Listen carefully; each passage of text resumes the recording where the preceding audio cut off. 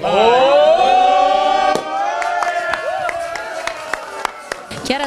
è la nuova sindaca del comune di Spoltore, una vittoria schiacciante per la verità che era stata anche un po' annunciata e preventivata nell'aria, eh, data l'alta percentuale di preferenze riportate. Eh, Chiara Trulli che è stata sostenuta da una coalizione composta da quattro eh, liste, PD, Insieme, Sinistra Civica e Movimento 5 Stelle. Allora, intanto congratulazioni per questa schiacciante vittoria, da vice sindaca a sindaca, cosa cambierà?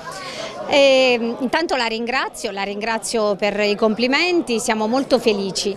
Per quanto riguarda l'impegno sicuramente si rafforzerà ulteriormente, ma io eh, sono stata sempre una presenza costante in questi dieci anni, prima da assessore, tra l'altro il primo assessore donna della storia del, della nostra municipalità e poi da vice sindaco, anche lì il primo vice sindaco donna e, e adesso ecco, i cittadini mi onorano di questo ruolo importante importante che sento tutto sulle mie spalle perché avere diciamo, una come dire, una forza come quella che mi hanno dato, di un consenso così ampio, eh, è grande, un grande atto di fiducia e di amore che è assolutamente reciproco e che quindi mi porterà a lavorare con ancora maggiore forza e vigore per la nostra città.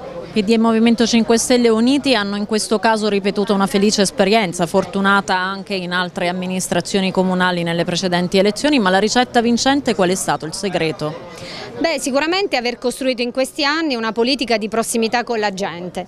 Questo ha un po' anche caratterizzato l'amministrazione di Lorito e la mia persona. È sempre diciamo, disponibile e accogliente nei confronti dei bisogni piccoli e grandi dei cittadini. L'amministrazione che voglio costruire dovrà avere la stessa connotazione, dovrà essere vicina alla gente. C'è una grande sfida da eh, affrontare che è quella della nuova Pescara, Spoltore insieme a Montesilvano e Pescara appunto costituiranno questa grande area metropolitana pescarese, quale sarà il ruolo di Spoltore? Tenendo presente che c'è questa eh, data eh, del primo gennaio 2023 in cui effettivamente dovrebbe eh, partire questo iter di fusione quindi in qualche modo rischia di essere sindaco per pochi mesi. Sì, eh, purtroppo se eh, non ci sarà un rinvio eh, della data di costituzione della nuova Pescara, la scadenza è molto vicina e questo ci preoccupa perché noi non vogliamo arrivare a una fusione a freddo che potrebbe portare documento alla nostra città, ma vogliamo arrivarci con un processo di graduale eh, diciamo, messa a sistema dei servizi e quindi governare la fusione con un ruolo da protagonista per la mia città.